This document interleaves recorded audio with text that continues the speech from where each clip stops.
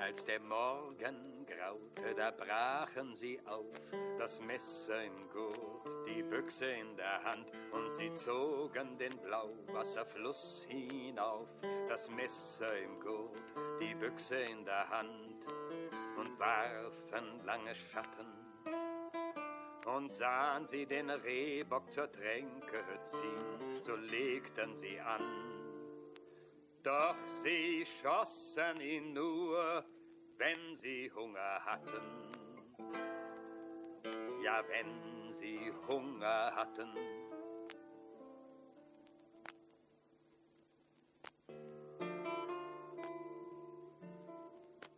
Wenn sie wen trafen, war's einer wie sie, das Messer im Gurt, die Büchse in der Hand, und sie fragten nicht viel nach dem Woher und dem Wie, das Messer im Gurt, die Büchse in der Hand, die Büchse in der Hand. Und halfen ihm, wenn in Not er einmal war, und zeigten ihm, wo er Wasser fand, wenn seine Haut auch rot war. Ja, wenn die Haut auch rot war.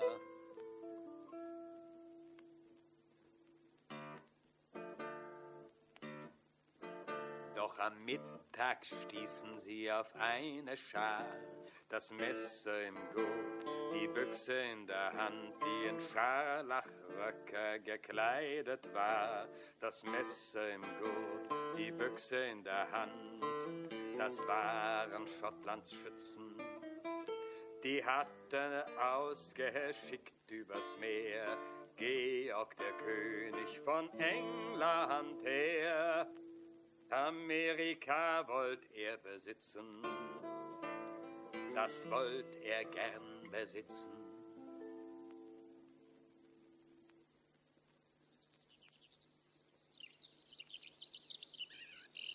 Hey, ja, der See.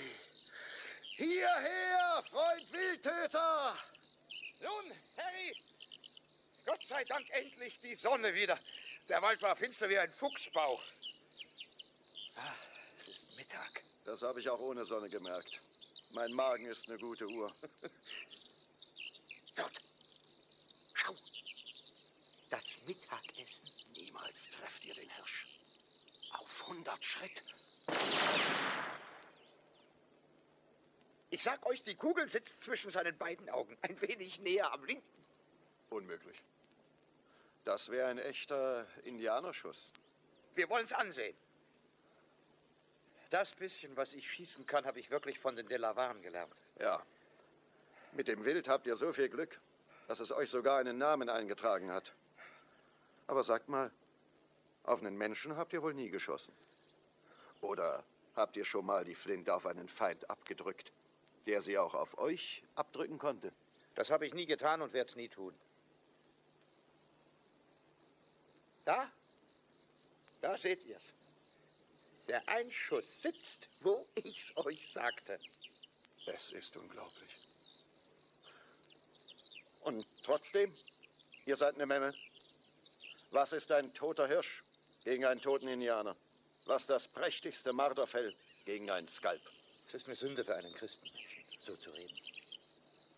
Und gerade hier, in diesem Wald, vor diesem See, es ist alles noch ganz so, wie es Gott geschaffen hat. Und ich glaube, ein Mensch muss ein guter Mensch werden, wenn er hier lebt. Der alte Tom schwimmt schon zehn Jahre hier auf dem See herum. Und ich wüsste nicht, dass der ein besserer Mensch geworden wäre. Er hat sich manchen Skalp geholt und sie haben ihm dreimal das Haus angezündet. Da hat er sich aufs Wasser geflüchtet. Und nun jagt er von dort aus. Aber kommt, nehmt bloß ein Rückenstück von dem Hirsch. Wir müssen noch vor Sonnenuntergang beim schwimmenden Tom sein. Du kommst mir recht, Harry. Es gibt wieder Krieg. Ein Läufer von Kanada her hat's erzählt. Die Franzosen wollen vor Henry nehmen. Sie haben, sagt er, die Mingos aufgewiegelt. Haben ihnen Brandwein und Flinten gegeben. Judith, Mädchen, mach Essen. Ja, Vater. Ich will das junge Ding nicht erschrecken. Ihr seid mein Freund, Harry. Harry, ich fürchte, die Rothäute stecken schon hier herum in den Wäldern.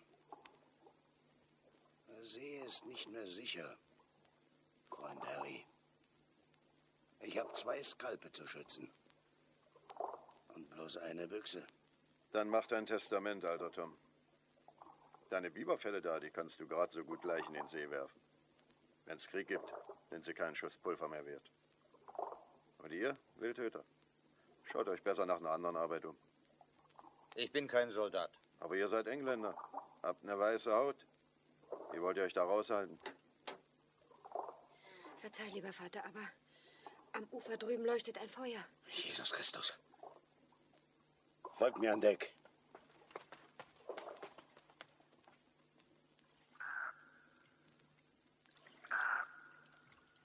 Das sind Indianer. Man sieht keinen Rauch, sie haben nur trockenes Holz genommen. Aber das Feuer ist groß.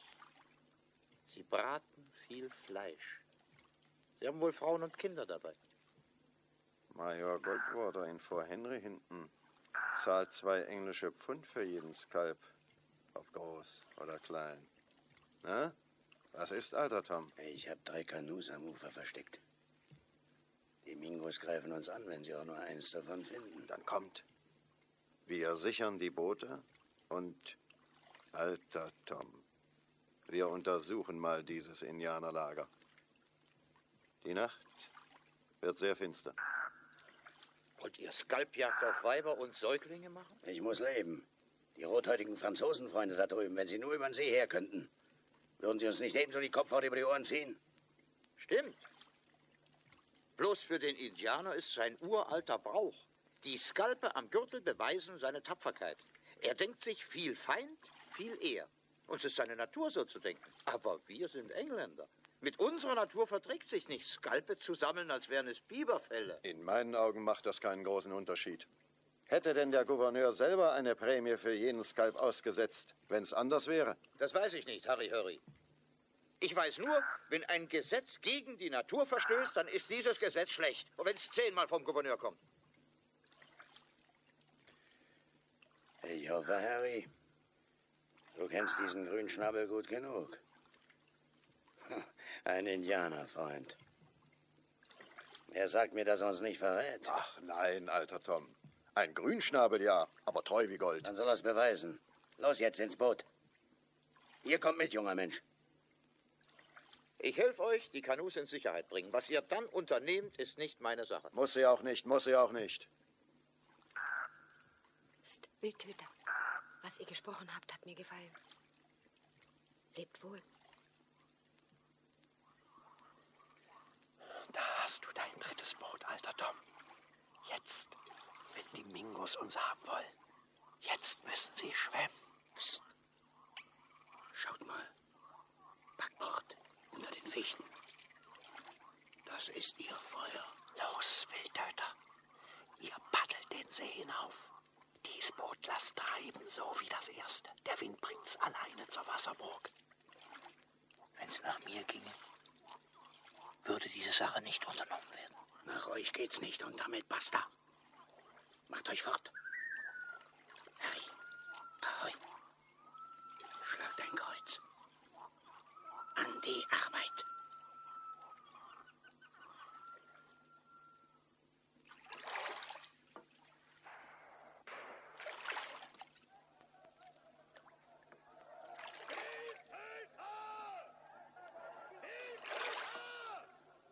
Uns haben sie! Bleibt ihr, wo ihr seid! Beschützt mir das Mädchen! Und Hilfe! Und das Regiment! Aus vor Henry! Wildtöter! Gott! Helft uns!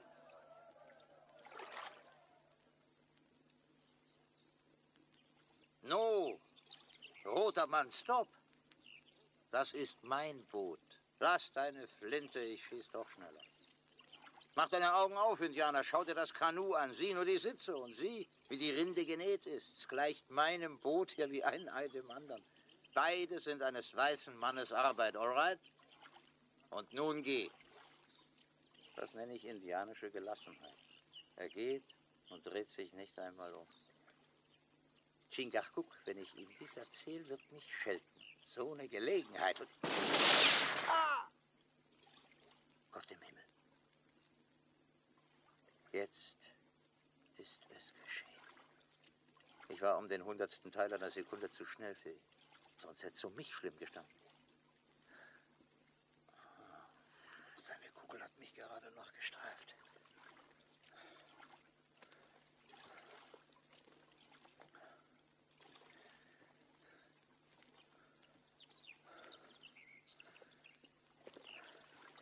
Nein, Rothaut, du hast von mir nichts mehr zu fürchten. Skalpieren ist nicht mein Handwerk. Hier hast du Wasser. Helfen wird's dir zwar auch nicht mehr, aber es macht dir dein Ende doch leichter. Gut. Du junger Kopf, weiches Herz, wie dein Name? Heiße ich bei den Delavaren. Kleiner Name für Krieger. Du ohne Furcht. Dein Auge sicher. Du großer Krieger. Bald. Falkenauge. Dein Name jetzt. Falkenauge. Gib deine Hand. Nimm sie nur, Rothaut.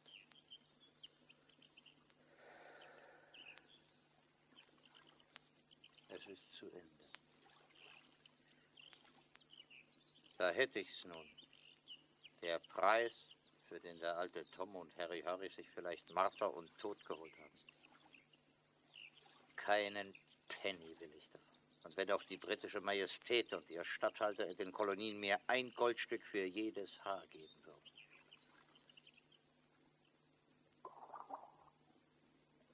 Es musste so kommen. Recht geschieht ihm. Recht geschieht Ihnen Ihr beiden. versündigt euch, Judith. Es geht um euren Vater. Er ist wie ein Wolf. Immer hungrig, immer voll Gier nach Tieren, nach Fällen, nach Skalprämien. Ein, ein alter grauer Wolf. Ja, das ist er. Und Harry? Den mögt ihr doch, denke ich. Den? Der ist so dumm, wie er grob ist. Ah. Wildtöter. Ist das nicht ein schreckliches Leben? Dies Leben in der Wildnis? Dann weint nicht, Mädchen. Die Indianer sind gar nicht so. Sie skalpieren keine unverwundeten Gefangenen. Sie führen sie gern lebendig mit. Redet nicht, was ihr selber nicht glaubt. Die Franzosen bieten Kopfgeld so gut wie die Engländer. Wildtöter, ihr müsst sie retten. Geht nach Fort Henry. Holt das Regiment an den See. 500 Flinten gegen eine kleine Horde armseliger, schlecht bewaffneter Indianer. Vergesst nicht, Judith Hatter, wozu euer Vater und Harry Hurry losgezogen waren. Wollt ihr sie deshalb richten? Wer seid denn ihr, Wildtöter, dass ihr ihnen so kaltblütig das Todesurteil sprecht? Wenn euch für den Weg nach Fort Henry der Mut fehlt, gehe ich. Mich kennen die Offiziere. Sie werden mir helfen. Aber euch, Gnade Gott, wenn sie euch fangen. Ach was, Judith, an Mut fehlt's mir nicht. Ich bin schon schlimmere Wege gegangen, aber immer mit einem guten Gewissen. Dann wünsche ich euch einen ruhigen Schlaf, wenn erst mein Vater und Harry tot sind. Lebt wohl. Gott im Himmel, so wartet doch, Judith. In diesem Beutel sind zehn englische Pfund. Es ist mein Erlös für die Jagd dieses Winters. Ich will gehen und versuchen, sie freizukaufen. Das wollt ihr für sie tun. Dann nehmt auch diese Kleider dazu. Sie sind kostbar. Vielleicht, dass die Indianer Frauen ein Wort mitreden bei, bei so einem Handel. Hm, Ihr habt einen praktischen Sinn für das Leben im Wald. Wirklich, der Flitter wird mächtigen Eindruck machen. Indianer haben ein Kindergemüt. Zumindest gewinnen wir einen Tag Zeit. Und bis dahin wird die Schlange ja hier sein. Was redet ihr, Falkenauge? Die Schlange? Wen meint ihr? Euer Vater und Harry hätten mich schief angesehen, doch euch kann ich sagen. Mein einziger Freund ist ein Indianer. Chingachgook. Das heißt in der Delavan-Sprache die große Schlange. Er wird mich hier treffen, hier am See. Wir wollten gemeinsam jagen und fischen. Nun wird er sich auf eine andere Jagd machen müssen. Ihr seid ein Träumer. Ein Indianer wird einem Weißen nie helfen. Dann wisst ihr nicht, was bei den Rothäuten Freundschaft bedeutet. Nehmt meine Büchse. Wenn's Not tut, könnt ihr wohl selber noch abdrücken. Gebt eins von den Kleidern her. Als Köder. Nein, unbewaffnet lasse ich euch nicht. Ja, wie denn sonst? Die Indianer haben auch ihre Gesetze. Der Gast ist ihnen noch heilig. Lebt wohl. Falkenauge, gebt auf euch acht. Um meinetwillen. Versteht ihr mich? Haben die Irokesen die Gesetze der Gastfreundschaft vergessen? Oder sind sie alte Weiber geworden, dass sie den waffenlosen Unterhändler fürchten und ihn mit Riemen binden, wie den feigen Verräter? Der Mund der Ingelese ist voll von großen Worten, wie ihre Herzen von Tücke. Vom schwimmenden Haus kamen sie über das Wasser und stürzten sich auf unsere Kinder. Vom schwimmenden Haus kommst auch du und verlangst von uns Gastfreundschaft. Ja. Denn ich komme aus freien Stücken zu euch. Und frei werdet ihr mich ziehen lassen, wenn ihr die Sitten eurer Väter noch achtet. Was willst du? Das Leben der beiden Gefangenen. Ich will's nicht umsonst. Der französische General Montcalm zahlt euch für jeden Skalp zwei Goldstücke. Ich gebe euch vier für jeden Mann als Lösegeld. Dazu Gewänder für eure Squaws. Prächtig wie dieses. Der junge Krieger spricht kühne Worte. Sein Vertrauen in die Ehre der Irokesen ist groß, da er uns zum Tausch anbietet, was wir uns bloß zu nehmen brauchten. Wie nennt sich mein ehrlicher Freund? Wie alle, die jung und rüstig sind, habe ich zu verschiedenen Zeiten verschiedene Namen geführt. Heute aber sagte einer eurer Krieger, als er in meinen Armen starb, ich verdiente, Falkenauge genannt zu werden, weil mein Blick schneller war als der seine, als es um Leben und Tod ging. Hund der Bleichgesichter! Du also warst es. Du hast einen unserer tapfersten Krieger hinterlistig ermordet. Seine Hütte hast du mit Trauer erfüllt. Mit den Wehklagen seines Weibes und seiner Kinder. Was steht ihr noch, Irokesen, wie feige Kojoten? Schlagt ihn tot! Schlagt ihn tot! Er ist ein Weißer! Aber der Häuptling schob das alte Weib nur beiseite und hieß mich willkommen. Hinter ihm drängten sich die Frauen wahrhaftig, Judith. Die Schneiderin, die im fernen Paris oder sonst wo dies Staatskleid zusammengestichelt hat, sie hätte sich wohl nie träumen lassen, dass sie damit einmal rothäutige Heiden so ungeheuer verblüffen würde. Und sie werden sie bringen. Seht selber! Mein ehrlicher Bruder weiß, wie ich mich auf ihn verlasse. Ein Hochzeitsgewand als Preis für den starken Häuptling, eins für den weisen alten Vater. Nun, Mingo, Der schwimmende Tom ist weder Weise noch mein Vater. Und Harry Hurry bleibt Harry Hurry und wird niemals Häuptling. Bestenfalls gibt er einen strammen Korporal ab. Aber damit du siehst, Häuptling, dass auch ich dir vertraue, nimm schon dieses Kleid. Gut. Falkenauge mag die Gefangenen hinaufziehen. Er wird ihnen die Fesseln erst lösen, wenn unser Floß zweimal so weit entfernt ist, als seine Büchse schießt. Ich verspreche dir's auf meine Ehre. Nimm noch dies Staatsgewand, es ist wohl aus Brokat. Da liegt er nun. Weiß Gott, euch haben sie prächtig verschnürt und geknebelt. Häuptling, leb wohl. Fahr hin in Frieden.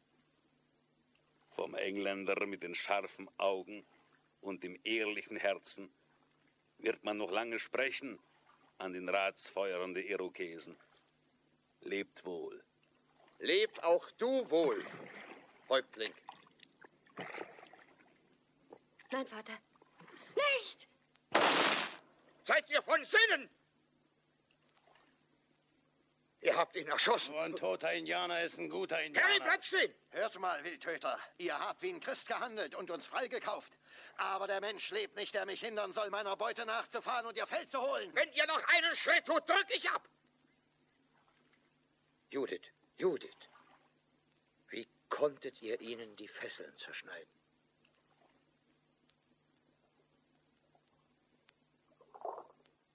Falkenauge, was brennt dir noch Licht? Ihr packt eure Sachen.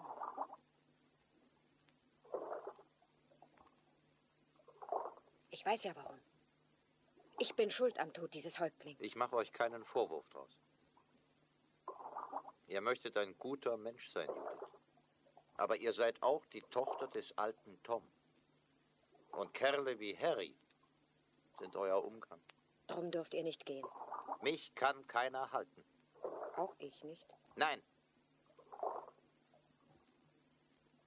Nein, auch ihr nicht. Gut, dann komme ich mit euch.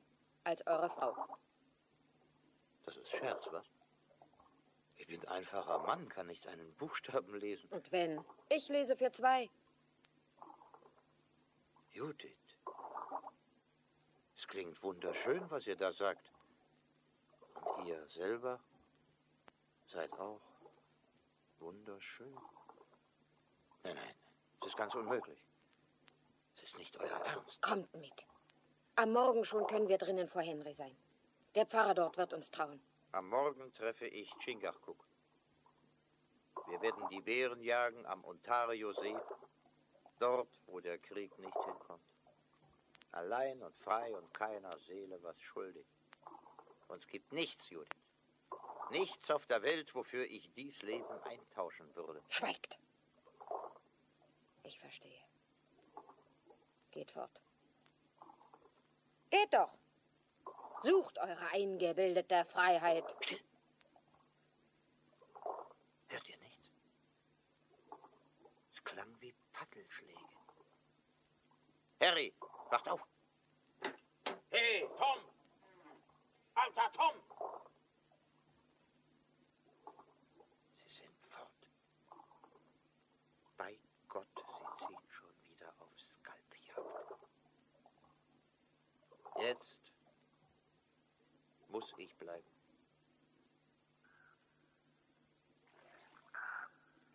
Verdammt. Sie hatten sich mit Öl eingeschmiert. Es waren nur zwei. Doch sie schrien für 20. Machten die ganze Horde rebellisch. Da half nur noch Rennen. Ihr kennt mich, Wildtöter. Was Laufen betrifft, ich nehm's mit dem Hirsch auf. Der alte Tom aber. Rennen ist nicht mehr seine starke Seite. Kurz. Judith, macht euch gefasst. Euren Vater, den haben Sie. Was wollt ihr denn? Kriegsglück! Du bist ein feiger Hund, Harry Harry. Schleppst den alten Mann mit ins Unglück und lässt ihn drin sitzen. Er wollte sein Kopfgeld verdienen wie ich. Er kannte das Geschäftsrisiko.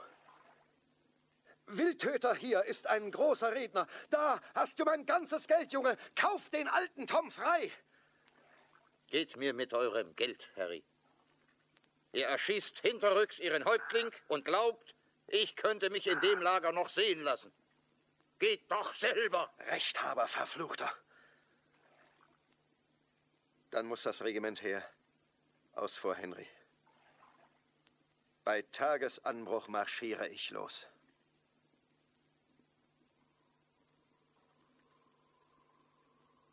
Bei Gott. Sie haben ihn auf Baumstämme gebunden. Der Wind hat sie herübergetrieben. Hey, Tom. Hey. Hey. Tom Hatter. Er ist ohne Bewusstsein. Nehmt ihm die Mütze ab. Macht ihm den Kopf nass. Ah! Hölle und Teufel. Herr Jesus Christus. Sie haben ihn bei lebendigem Leibe skalpiert.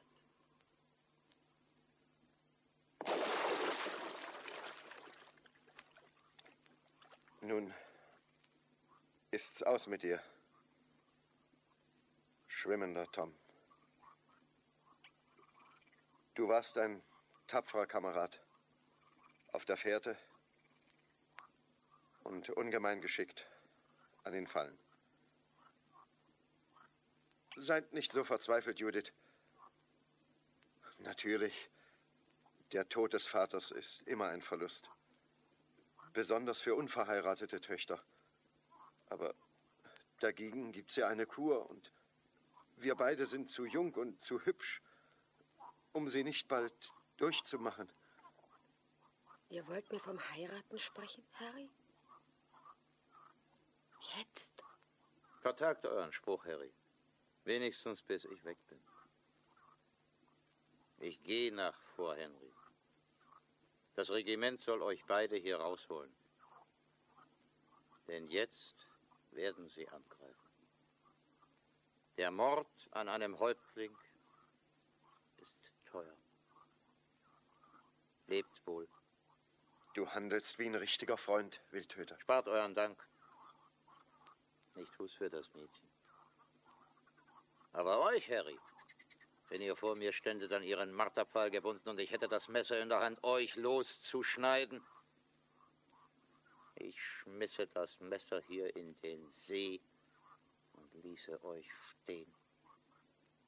Als wir vor zwei Tagen erst am Ufer drüben aus dem Wald kamen, da war ich ein junger Mensch und dachte nichts Böses.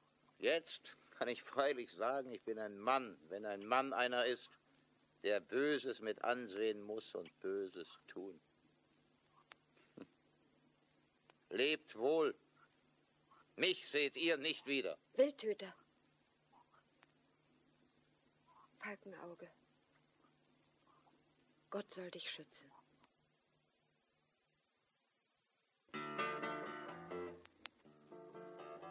Der Offizier schrie, kommt mir zu Pass, das Messer im Gurt, die Büchse in der Hand, meine Schützen fressen vor Hunger schon Gras, das Messer im Gurt, die Büchse in der Hand.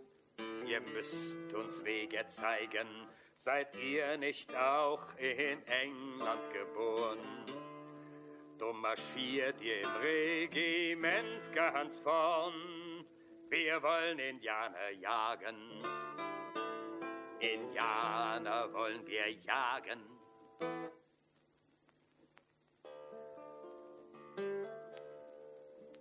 Als der Abend einbrach, waren blutrot und heiß, das Messer im Gurt, die Büchse in der Hand, und sie flohen in die Wälder, heimlich und leis, das Messer im Gurt, die Büchse in der Hand, und suchten ihr altes Leben. Doch um ihre Ruhe war es getan. denn sie konnten als Freund dem roten Mann jetzt keine Hand mehr geben, ihm keine Hand mehr geben.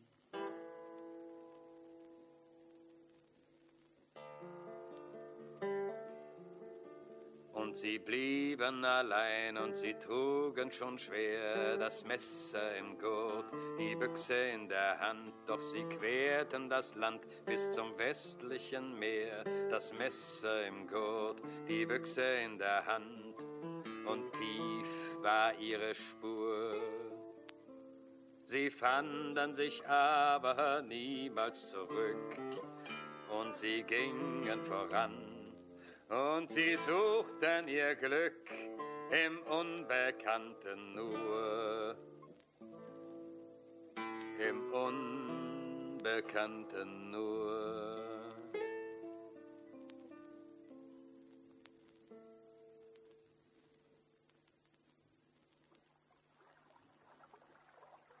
Einen schönen Morgen, Mister. Sagt mir, ob Hab ich... keine Zeit für dich, alter Mann. Zeit für eine ehrliche Frage und eine ehrliche Antwort wird wohl noch sein. Die Goldnuggets laufen euch schon nicht weg. Hör zu, alter Schwätzer. Du sagst keiner Seele, wo du mich getroffen hast. Wenn in Templeton unten so ein verdammter Goldsucher nach Bill Kirby fragt, hältst du dein Maul. Ja, ja, ja, ja, Mr. Kirby. Dieser Pfad führt also nach Templeton. Ich meinte, ich käme zum Otsego-See. Ja, wohin denn sonst? Templeton liegt am Otsego-See. Ah ja, so. Ah, ja. Kein gesegnetes Fleckchen mehr, wo nicht Ansiedler sitzen. Vor zweimal zwanzig und einmal zehn Jahren gab's hier bloß den schwimmenden Tom. Und seine. und seine Tochter. Mit ihm nahm sein elendes Ende. Die Irokesen zogen ihm den Skalp über die Ohren, bei lebendigem Leibe. Von dem Mädchen von dem Mädchen habe ich nie mehr was gehört. Heute gibt's hier wohl keine Rothäute mehr. Seit ich hier Goldwäscher bin, habe ich keinen Indianer gesehen. Die Gegend ist sauber. Sauber? Nennt man das jetzt so? Mhm. Sauber.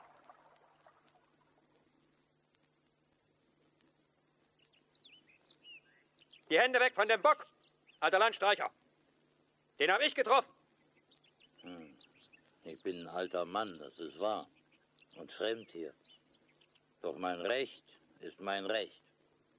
Es fielen zwei Schüsse. Ich bin Jeff Jotham, Wildhüter bei Richter Tempel, drunten in Templeton. Und Richter Tempel gehört alles Land hier. Da hast du gar nichts zu schießen. Das, das Messer weg von Habt dem ihr Tier. auch schon das Wild im Walde gekauft? Ich bin freier Mann. In einem freien Land, denke ich.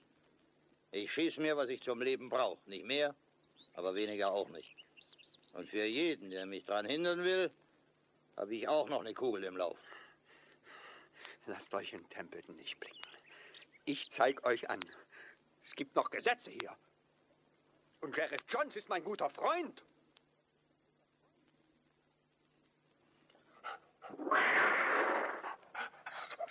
Mut, alter Hektor!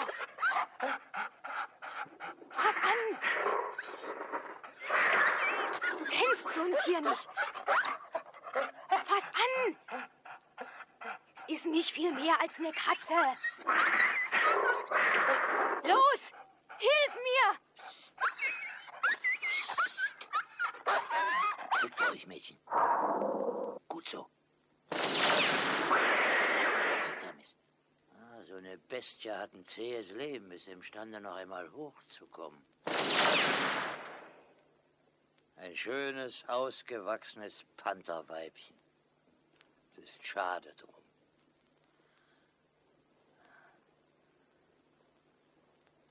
Ihr habt mir das Leben gerettet. Möglich. Bloß eure Docke da, die, die ist hin. Bei allen Heiligen, wie kann ich euch danken? Kommt zu uns nach Haus. Mein Vater ist Richter Tempel. Ich bin Elisabeth Tempel. Ihr kommt doch. Glaub's kaum. Ich will in Templeton nicht bleiben. Aber sagt mir eins, Miss Temple, ist euch in eurer Ansiedlung unten irgendwann mal ein Indianer über den Weg gelaufen? So ein, so ein Alter wie ich, vielleicht auch so grau? Die Habichtsfeder überm linken Ohr, nicht in der Mitte des Skalps. Kennt ihr so einen? Gesehen habe ich ihn nie. Aber Vater hat mir, als ich von der Schule in England kam, mal von so einem alten Indianer erzählt. Der, der, der in Templeton lebt? Ich weiß es nicht, Mister. Mir ist sehr übel. Ja, freilich, die Knie zittern erst, wenn die Gefahr schon vorbei ist. Setzt euch ins Gras. Ich hab noch zu tun. Ah, das Pantherfell bringt mir eine schöne Prämie.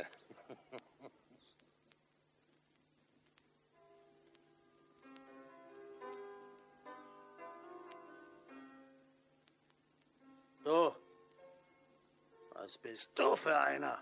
Hey, Mister.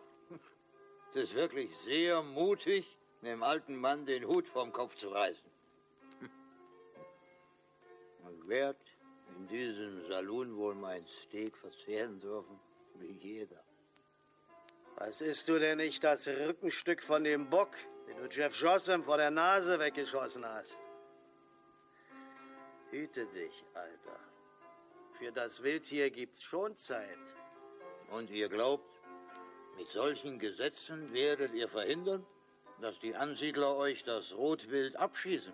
Bloß so aus Sport, wie sie es nennen. Ich lebe nach einem anderen Gesetz. Nur einem blutigen Anfänger wird's einfallen, die Rehgeiß mit ihrem Kiez an der Seite zu erlegen. Es sei denn, er braucht neue Gamaschen. Ach, geht mir doch mit euren neumodischen Gesetzen. Du bist hier in Templeton. Hier gelten die Gesetze von Templeton. Und ich bin der Sheriff von Templeton. Wir können hier keine verdammten Schlauköpfe brauchen, die sich ihre eigenen Gesetze machen. Es ist zu viel Gold hier unter den Leuten. Solche wie du halten es dann wohl auch für gesetzlich, den Goldwäschern in die Koffer zu greifen, hä? Lass die Hand vom Gewehr. Wie nennst du dich, Alter? Dieb hat mich noch keiner genannt. Als ich ein Milchbart war, hieß ich Wildtöter. Die erste Rothaut, die ich erschoss, taufte mich Falkenauge. Im Kolonialkrieg rissen die Franzosen aus vor La Longe Carabine. Den Namen verdanke ich der langen Büchse hier. In den Soldlisten von Georgie Washingtons Armee aber stand ich als Nathaniel Bampo, Pfadfinder. Schau dies hier an, wenn du mir nicht glaubst. General Washingtons goldene Medaille. Sheriff, setz ihm den Hut wieder auf. Respekt, alter Mann. Kann ich für euch was tun? Ich bin Richter Temple. Dies Land ist mein Land. Früher war alles mal Gottes Land. Jetzt ist's Besitz. Ah ja, Richter Tempel, dann brauche ich wohl eure Erlaubnis. Geht auf den Winter zu. Ich vertrag die Kälte nicht mehr wie früher. Will mir eine Hütte bauen, oben im Waldrand. Gut, Mr. Bambo. Richtet euch ein. Ach ja, äh, Sheriff, einen Namen hätte ich euch fast unterschlagen. Die Waldläufer hier im Staate New York nennen mich Lederstrumpf. Richter Tempel, als Pachtzins nehmt einstweilen dies Pantherfell. Goodbye. Gott im Himmel. Sheriff, holt mir den Mann zurück.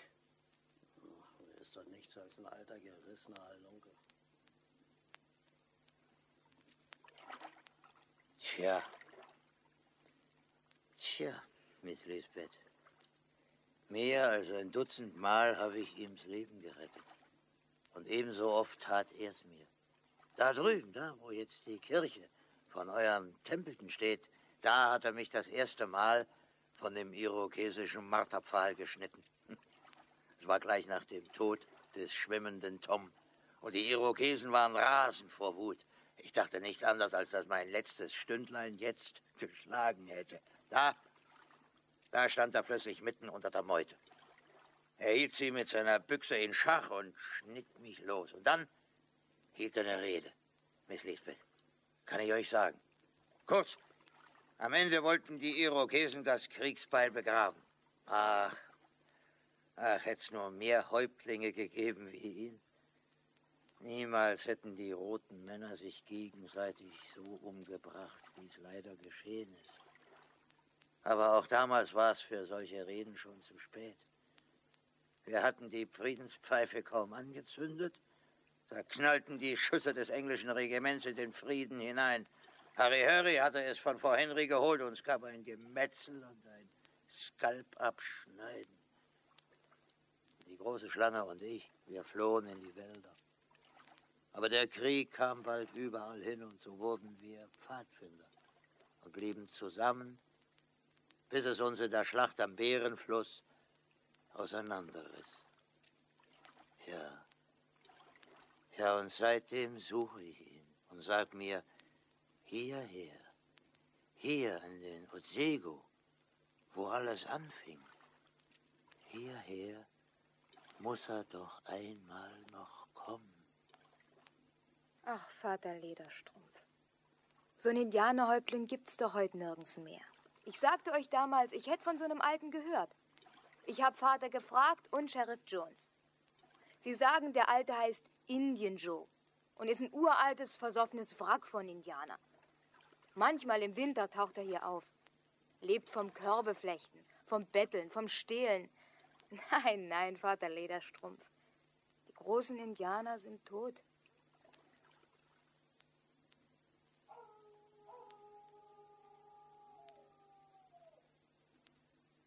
Er ist in der Kneipe da drin. Sheriff Jones ist dabei und der eitle Jeff Jotham. Bill Kirby hat Gold gefunden im Schwarzwasserbach und hält alle frei. Und Richter Tempel hat ihn wirklich gesehen. Es ist Indian Joe. Er ist mit Bill aus den Bergen gekommen und säuft, was er kriegt.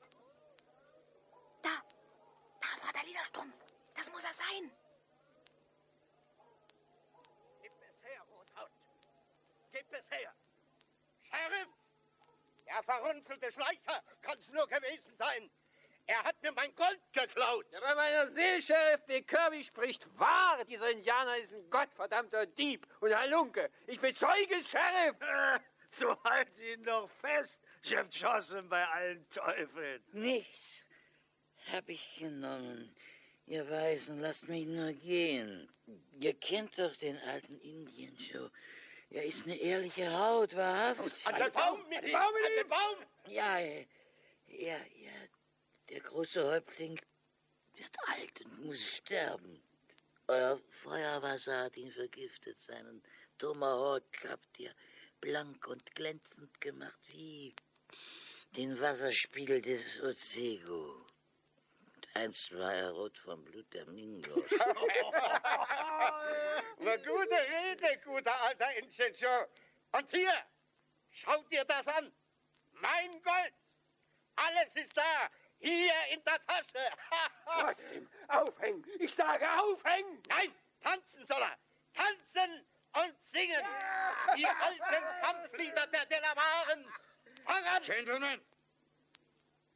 Es wäre besser, ihr ließet ihn los. Mir zittert ein bisschen die Hand am Gewehrschloss. Haut ab! Komm her, du alter, betrunkener Indianer. Der gehört auch aufgehängt. Schlag dich mit dem nicht rum. Er bleibt hier nicht lange. Whisky!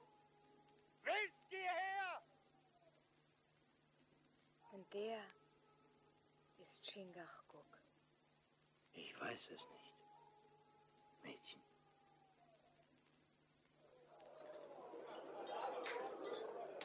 Du bist doch bloß ein Sonntagsjäger, Jeff Jossen. Gegen den alten Lederstrumpf bist du bloß ein hundsmiserabler Anfänger. Und du, Großmaul Kirby, bist als Goldsucher blind wie ein Maulwurf. Hä? Der kennt die fündigen Stellen besser als du und die goldhaltigen Bäche. Wozu sonst läuft denn der Alte Tag für Tag in die Berge? Warum hält er seine Hütte mit einem eisernen Schloss versperrt, dass kein ehrlicher Christenmensch auch nur einen Blick hat hineinwerfen dürfen? Nicht mal der Sheriff, stimmt's, Sheriff Johns? Ich sag euch, der hat in seiner Hütte Nuggets versteckt, groß wie eine Faust. Ohne einen handfesten Grund kommst du da nicht rein, Chef. Ja, wozu bist denn du, Sheriff? Du bist das Gesetz. Und das Gesetz findet immer einen Grund.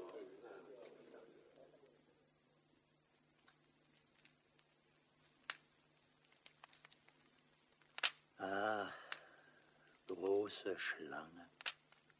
Häuptling der Mohikaner. Weit hast du's gebracht. Höre, Chingachgook hatte noch keine 20 Sommer gesehen, als die Häuptlinge bei dem großen Beratungsfeuer ihr Land weggaben für die süßen Worte der Inglese. Die Mohikaner sollten anderes Land bekommen. Aber sie wurden in die Kämpfe der Weißen geschickt. Und die Überlebten bettelten umsonst um ihr Recht, bis sie starben. Denn Krieg folgte auf Krieg. Chingachgook hatte noch eine Hoffnung. Umkas, seinen Sohn, den letzten der Mohikaner. Und Unkas fiel unter den Kugeln seiner eigenen roten Brüder. Damals brach etwas in Chingachgoks Herzen. Und er griff nach dem Feuerwasser und trank und trank und konnte vergessen. So wurde aus ihm Indian Joe. Die Weißen schießen sein Wild und fischen in seinem Wasser. Indian Joe aber wartet, dass Manitou ihm den Weg weist und dass er wieder Chingachgook werden kann in den Jagdgründen seines gemordeten Volkes.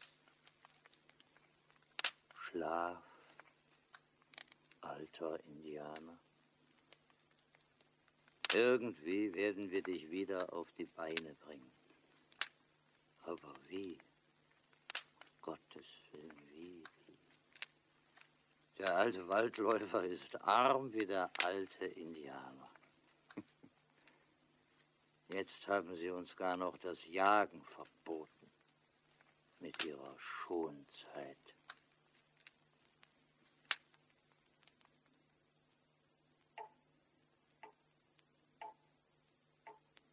Hört, Richter Tempel, ihr müsst dies unterschreiben.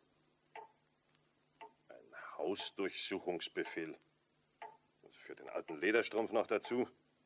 Was hat er verbrochen? Er hat einen Hirsch geschossen. Jetzt. In der Schonzeit. Könnt ihr beweisen, Sheriff, was ihr da sagt? Ihr seid dem alten Mann doch nicht grün, ihr und Jeff Johnson. Und ihr, Richter Tempel, wird man sagen, seid parteiisch. Er hat euer Kind vor dem Panther gerettet. Na schön. Was ist euer eigenes Gesetz aber wert, wenn ihr es nicht gebraucht, ohne Ansehen der Person? Gut. Beweist. Der alte Lederstrumpf hat gewildert. Tja, euer Ehren. Den Beweis finde ich in seiner Hütte. Die Decke von dem gewilderten Hirsch. Ihr müsst unterschreiben. Hat Richter Tempel dies Stück Papier unterschrieben? Ah, mag er das mit seinem Herrgott abmachen. Euch aber, Jeff Johnson, euch lass ich nicht in mein Haus. Ihr sollt gewildert haben. Ich verlange Zutritt zu eurer Hütte. Zurück. Wenn ihr euch weigert, geschieht's auf eigene Gefahr. Hierher, Bill Kirby. Macht keinen Unsinn, Alter. Na, lass uns schon rein. Die paar Dollar Strafe. Richter Tempel will sie, hör ich, für dich bezahlen. Der Richter soll seine Dollars behalten. Zurück, Jeff Johnson. Bei Gott, setzt ihr bloß einen Fuß auf die Schwelle, dann drück ich ab. Die Sache wird teuer für euch, Lederstrumpf. Teuer. Einen Beamten bei seiner Pflicht mit der Waffe behindern. Ich hol den Sheriff, die Bürgermiliz. Wir kommen wieder. Der läuft wie ein Wiesel. Hier, Raufbold, hast du die Decke von dem Hirsch. Trag sie hinunter zu Richtertempel. Okay, okay. Damit ist das Gesetz erfüllt. Ah. Ach, geht doch zum Teufel mit euren Gesetzen.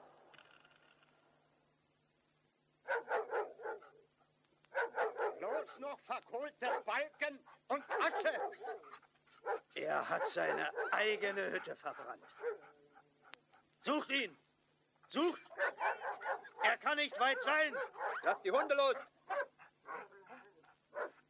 Erspart euch die Mühe, Gentlemen. Hier bin ich. Habt ihr Angst vor der langen Büchse? Jetzt ist sie entladen. Na los. Los, Sheriff Jones. Sag deinen Spruch. Hm? Im Namen des Gesetzes. Im Namen des Gesetzes. Nathaniel Bappo, genannt Lederstrumpf. Ihr seid verhaftet. Im Namen des Gesetzes. Nathaniel Bampo, genannt Lederstrumpf. Die Geschworenen haben ihren Spruch gefällt und euch im Sinne der Anklage für schuldig befunden, in der gesetzlich verhängten Schonzeit einen Hirsch geschossen und außerdem einen Beamten im Dienst tätlich bedroht zu haben, indem ihr mit eurer langen Büchse auf ihn zieltet. Bei der Festlegung der Strafe hat das Gericht ebenso euer Alter und eure Verdienste berücksichtigt, wie die Notwendigkeit, Wildfrevel und Angriffe auf die Vertreter der Staatsmacht streng zu ahnden. Es werden euch daher die sonst üblichen Rutenschläge auf den bloßen Rücken erlassen. Hingegen wird angeordnet, dass ihr dem Staat eine Buße von 100 Dollar zahlen müsst und für einen Monat ins Gefängnis gesperrt werdet. Persönlich aber möchte ich euch wo sagen, Soll, wo soll ich das Geld hernehmen? Ja, wo soll ich, alter Mann, hier im Wald so viel Gold und Silber finden? Und vor allem, redet mir nicht davon, dass ihr, dass ihr mich der Freiheit berauben wollt. Lasst mich hinaus in den Wald an die freie, frische Luft, die ich gewöhnt bin, und ich will Tag und Nacht umherstreifen und euch die Summe zusammenbringen, ja. Ja, das müsst ihr doch vernünftigerweise einsehen. Ich muss mich nach dem Gesetz richten. Redet mir nicht von Gesetz, Richter Tempel. Mit Gesetzen habt ihr das Land aufgeteilt unter euch, aber ein Gesetz habt ihr vergessen. Eins, das mir zu leben erlaubt. Vater, Vater, Was, erlaub was mir. willst du jetzt, Kind? Meine Pflicht als Richter hat mit meinen Ich Gefühlen... will ja nichts sagen. Ich will bezahlen. Hier, dies Armband ist weit mehr als 100 Dollar wert. Nehmt's und erlasst dem alten Mann seine Strafe. Für die Buße mag's gelten. Doch vom Gefängnis kauft's ihn nicht frei.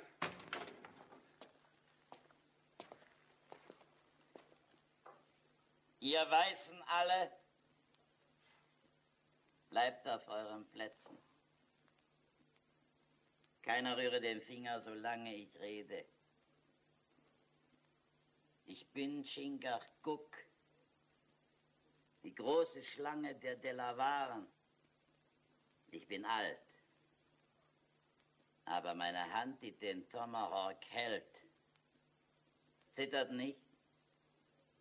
Und mein Auge blickt scharf. Ich habe nur einen Freund. Er hat mich gesucht. Er hat mich gefunden, als ich nicht Chingachgook mehr war, sondern Indian Joe. Und vergiftet vom Brandwein. Er hielt mich in seiner Hütte verborgen, bis das Gift meinen alten Körper verließ. Um meinetwillen hat er euer Gesetz gebrochen. Um meinetwillen lasst ihn jetzt frei. Du da, du mit dem Stern, zerschneid seine Fesseln. Befiehl es ihm, Richter, wenn du nicht willst, dass der Tomahawk meine Hand entfährt und trifft, wen er trifft. Sheriff Jones, tut, wie er sagt. So, geh, alter Mann. Weit werdet ihr beide doch nicht kommen. Wahrhaftig, Leute. So ist das Beste. Wozu den alten Lederstrumpf einsperren? Ich danke euch, Miss Temple. Ihr habt gehandelt an mir wie ein Mensch. Den Weg frei. Der wilde uns wirklich Gewalt antun in unserem eigenen Gerichtssaal. Was gafft ihr mich an, Leute? Richter, was wollt ihr? Es ging um die Ehre unseres amerikanischen Rechts. Es war Notwehr. Ja. Deshalb sitzt ihm die Kugel im Rücken. Nun, nun könnt ihr zufrieden sein, ihr Ansiedler von Templeton, alle. Der letzte Indianer ist tot.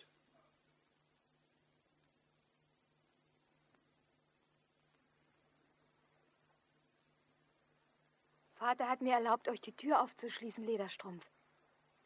Ihr sollt gehen, sagt er. Mag's aussehen wie Flucht. Euer Freund liegt droben im Wald begraben, wo eure Hütte stand. Sagt doch etwas. Mein Vater ist nicht schlecht. Glaubt mir. Er. Er ist nur streng. Er macht jetzt Jeff Johnson den Prozess, weil er geschossen hat im Gerichtssaal.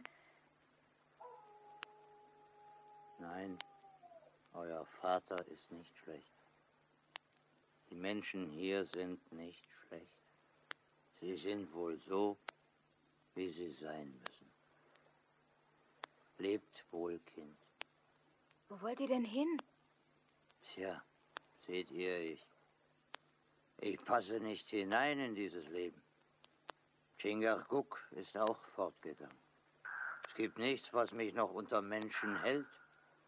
Nun hat man mir von den großen Seen erzählt. Da soll es die besten Jagdgründe geben. Ein, ein riesiges Gebiet, wo sich kaum je ein Weißer blicken lässt. Es sei denn vielleicht so einer, wie ich es bin. Dort will ich hin. Ich bin eben für das Leben in der Wildnis geschaffen. Macht was dagegen.